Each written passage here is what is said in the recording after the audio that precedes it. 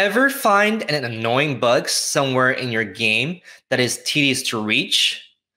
A bug that requires you clicking through countless menus or spending minutes navigating to a specific state only to find out your bug fix didn't work? How many minutes, if not hours, did you waste while rebuilding every time you wanted to make a change? Does this sound familiar to you? Let me show you how you can make edits to your code while debugging with Hot Reload to gain those valuable time back. Imagine you're making a game like this open source, cross platform CMake project, Bitfighter. In this game, the ship has a shield, round, and red. What if you want to make a change? Without Hot Reload, you would have to close the game, recompile, relaunch the game, and click through menus just to get here.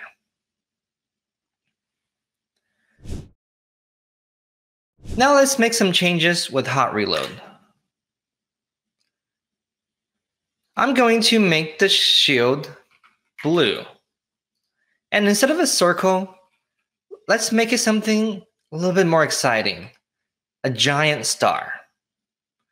To apply your changes, you can go to the hot reload button, click, and wait for the change to be applied.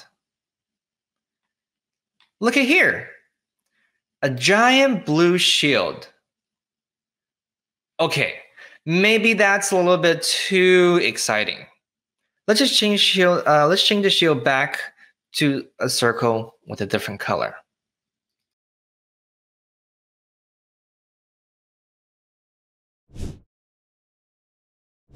This time, I can use hot reload on file save. To enable it, go to the drop down by hot reload button. You can enable it by clicking on hot reload on file save. Once enabled, you can apply changes every time you save your project.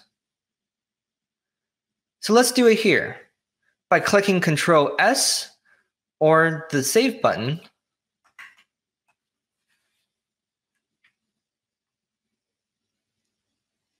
The change is now applied. We get back a reasonable shield with a very obvious color. Hot Reload supports any changes that are currently supported by Edit and Continue and is not limited to only game development.